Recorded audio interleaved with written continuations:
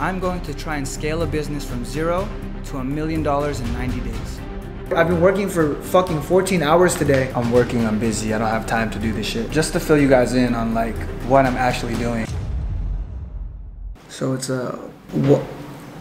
oh, no. I've run into some issues where the marketing is not converting like I thought it would. We're making some money, but it's not as much as I thought it would be. I'm not saying it's not possible, but the chances are getting like slimmer and slimmer every day, and that's what's making this thing tough. So we have done about $279 in revenue. I'm making some sales.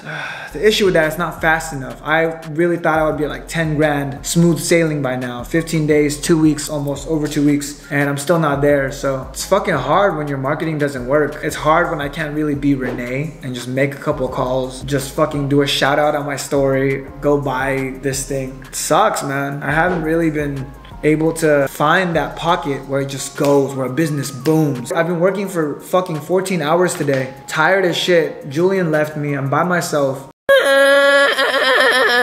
Why are you I have $300 to show for it. Some of you guys might be like, that's great, but to me, that's not great. As I like to say, when things get bad, when things are not looking good, you have to get creative. It's not a resource problem, it's a resourcefulness problem. So the first thing I did, I went to the drawing board and I started thinking about some marketing angles, and this is what I came up with. We can use this for musician, entrepreneurs, athletes. We can use this for hot girls, college students, anything you can think of, any niche. I just wrote down a bunch of niches that we could potentially use the product for. Kind of what I've been doing all day. I've been creative brainstorming. I've been really thinking about ways to find a marketing angle that's gonna work. It's tough, man. On top of that, and running my other business, because I can't take a break on anything between my main business, my side projects, my personal brand, aka content for you guys, this 90 day thing, I feel like I'm losing my mind.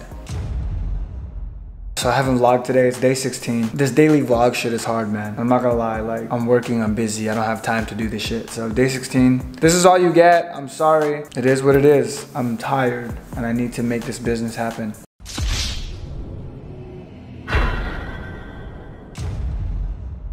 I feel fucking amazing today.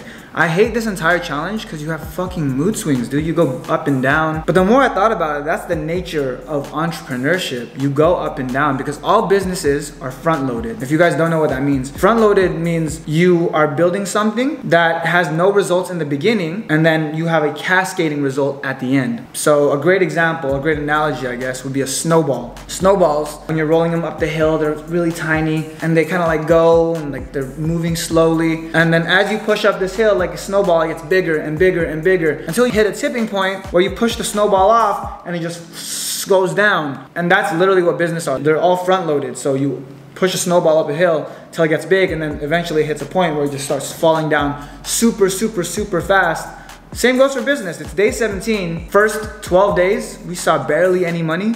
As of I want to say day 15, 16, 17, we're starting to see money come out from all the front loading we did, from all the business building we did. We're starting to see those returns so that money is starting to go through. On top of that, I'm building a proposal for a new client for my agency and I'm so excited. I haven't been this excited about a client in a very, very long time. So I hope they like us because they are an incredible company. We can take them to millions, tens of millions within the next year or two. So there's a lot on my plate right now, but it's a great fucking feeling. Day 17, it's about the journey. Let's go. Just to fill you guys in on like what I'm actually doing. A business is not as easy as just setting up ad campaigns. First uh, two weeks, we built the website, we set up the ad campaigns, we made the commercials, we got them up and running. If it was that easy, more people would do it. Like building a business, a genuine business, a real business that can make money and scale really fast, you have to be a real business. You have to do all the things that real businesses do. So like I said, we sent out the product to a lot of influencers. They should be getting it today or within the next day. The strategy is to have them post the content for us. That's why we didn't aim for like big, massive influencers that are gonna charge us a lot of money. We're aiming for like smaller people, regular, everyday people that would love to share share the products they use, the products they like. Because here's the thing, when you send people products, they become your marketing for you. And it costs you less than an ad. Let's say an ad costs you, I don't know, 10 bucks to hit a thousand people. That's way cheaper than paying for the ad itself. And, and if it comes from someone someone trusts, they're more likely to buy. So what we're doing is we're creating an army of people that are marketing for you. And if they love your product, they're gonna share it no matter what. So like I said, it goes down to having a good product, obviously.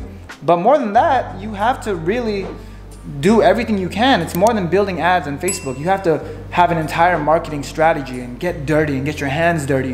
And that's what we're doing right now. So I'm building another influencer list. I'm gonna reach out to more influencers. I'm gonna do everything I can. Even though the ads are running, even though the business is running, even though we're already starting to generate sales, I want to fucking crush this and hammer it. So that's what we're gonna do. Break rules, never make them. She act up, I replace her.